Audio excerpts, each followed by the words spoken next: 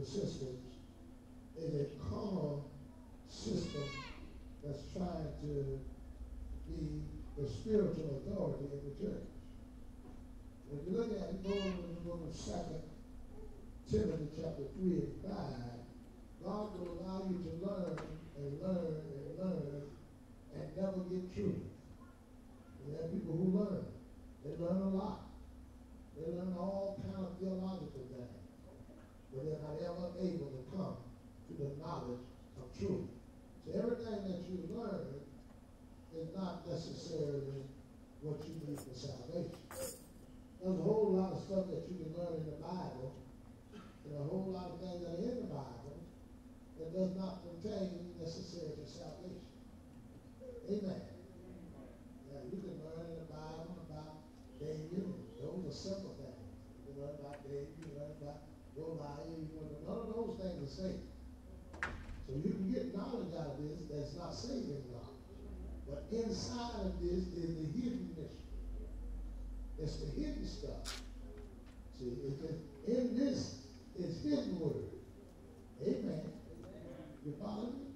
And that hidden word is called the mystery of Christ. Look over there in the book of Second uh, uh, Timothy chapter 3 and 5.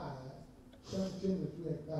It says, having a form of godliness, but denying the power thereof from such an away.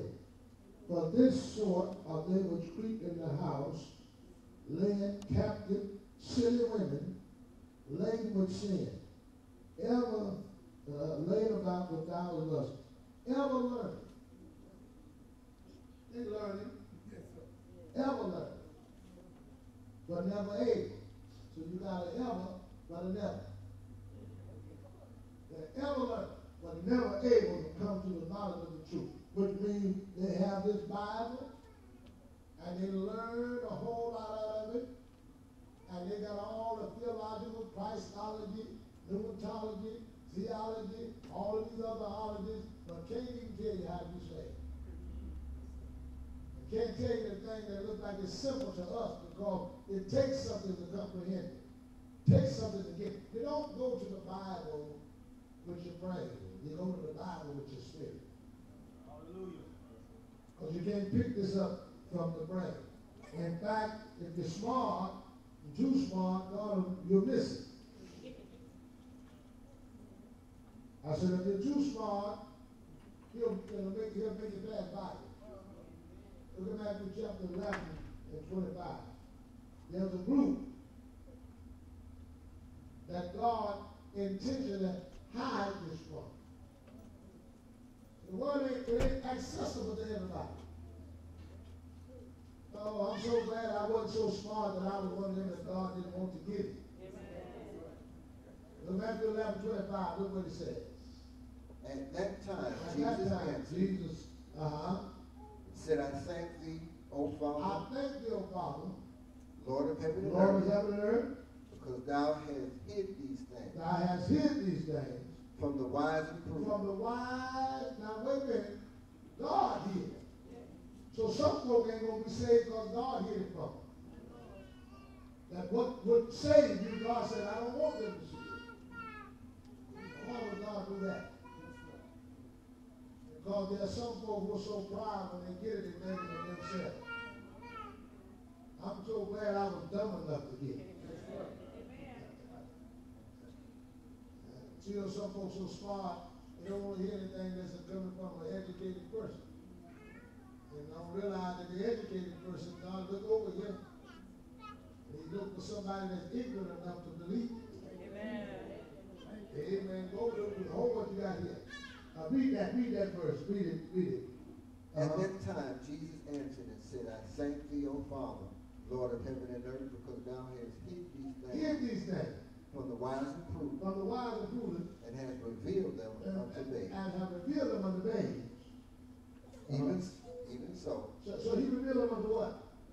He hid them from who? And he only give it to who? Only the babies. You know why he said that? Because everybody who come in the kingdom got to be born again. They got to be born of the water and the spirit. And if they're not willing to be born again, they're not babies. You got to reduce yourself when you're coming in from a grown up to a baby. Because he ain't revealing it to grown folks. He only reveals it to babes. And you have to become a babe by being born again.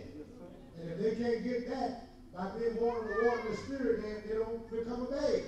So they never can be taught. Amen. All you ought to lift your hands and say, Thank you, Jesus. Thank you, Jesus. So he said, Hearing from the wise and the prudent and revealing unto babes. Uh-huh.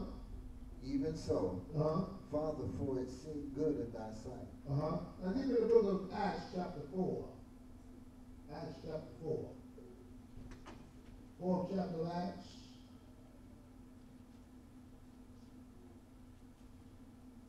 Hallelujah.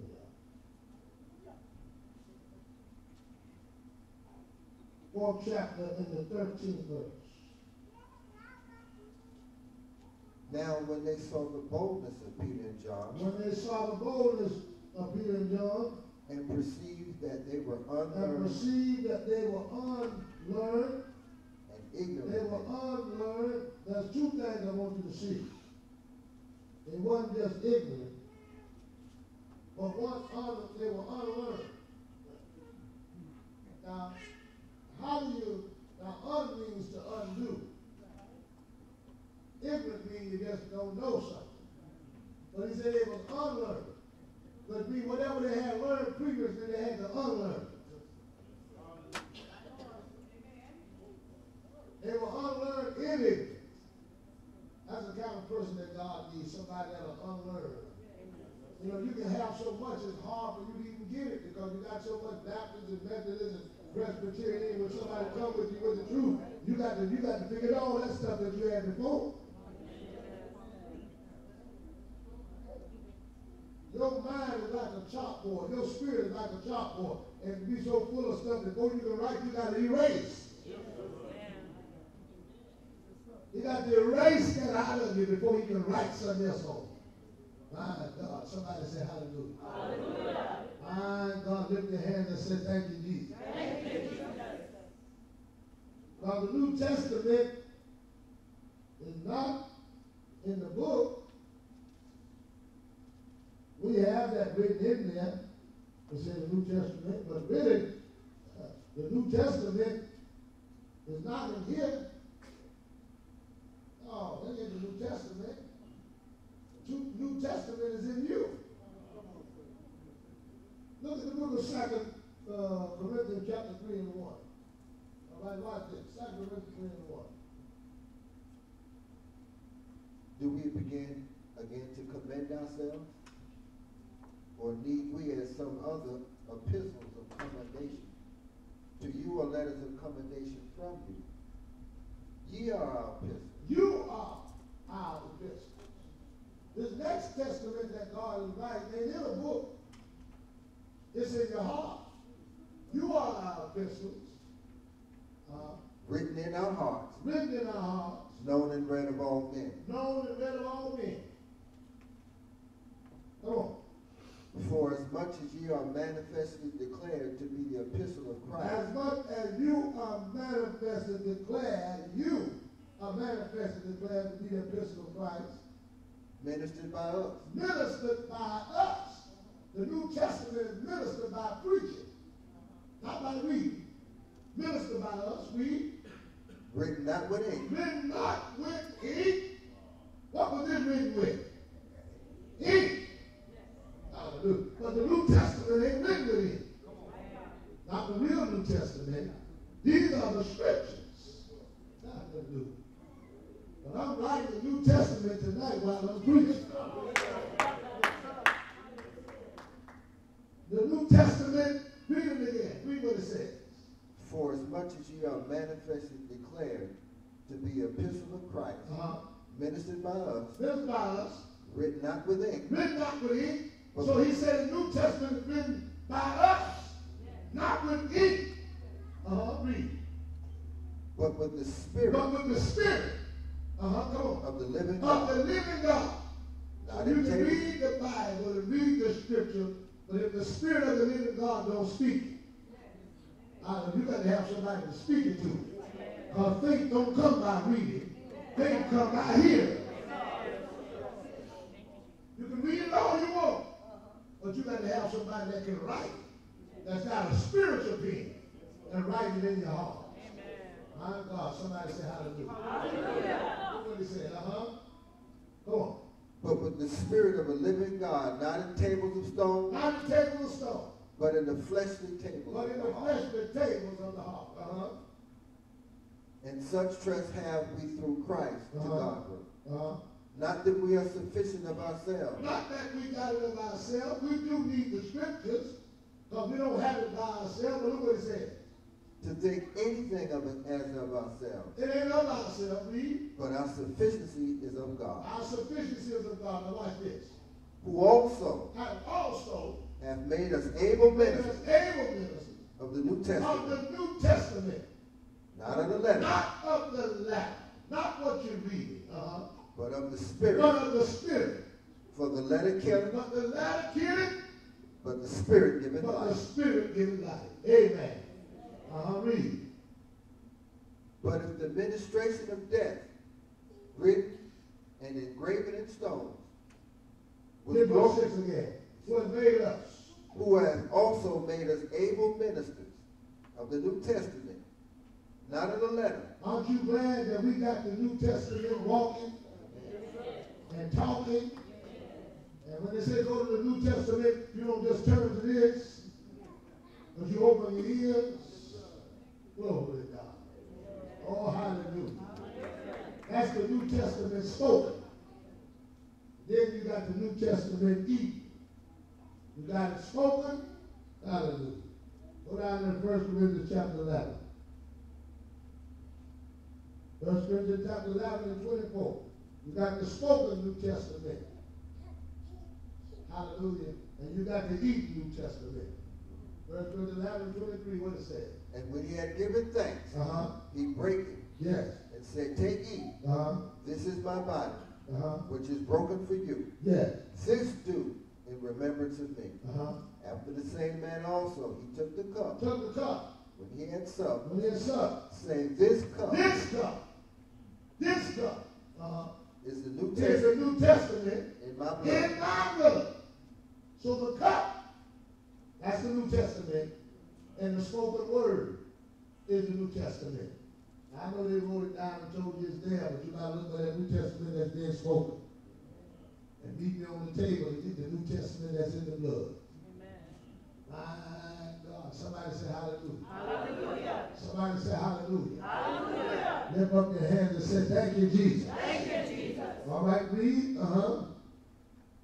This do ye as often as ye drink it Uh-huh. in remembrance of me. All right, go with me now to the book of First Corinthians chapter 2 and 9. Uh, There's something that God has given us that surpasses reading.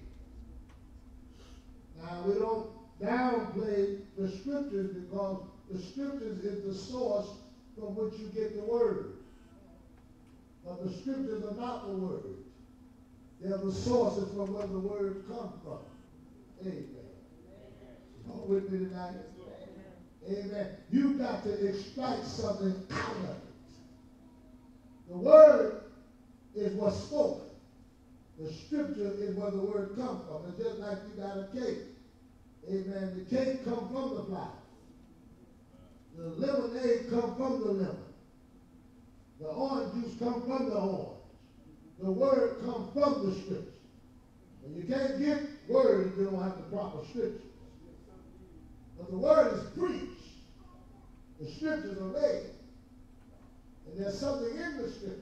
He says, search them. For in them we think they have eternal life. But faith come by hearing. We need a word tonight. Then it got to come, it got to come to a person that can hear it because everybody don't have an ear. Everybody won't receive what we preach. Because everybody ain't got an ear to hear. And if you have received it, you ought to thank God that you're able to receive it. It can be written as plain as day. But you can't get it. Can't see it look at this, First Corinthians chapter 2 and 9. Read. But as it is written, as written I have not There's only two ways you get information in you. If you're blind and deaf, you can't get it. The only way you're going to get information is through your ear and through your eye.